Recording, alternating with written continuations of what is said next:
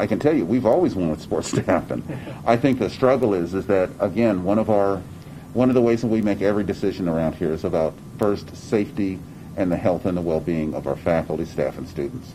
And when we feel that we can do the sport safely and make sure that our athletes stay healthy, uh, which our athletic department is just absolutely incredible. I think even the Mountain West, which is an incredible conference, I think that you know we just double down on every single one of those safety protocols. We really are trying to do our very very best.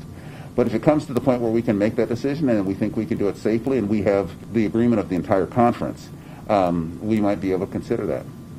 Since the beginning of the school year, there have been 21 confirmed cases of COVID 19. Dr. Whitfield told us he's happy to see such low numbers compared to other schools.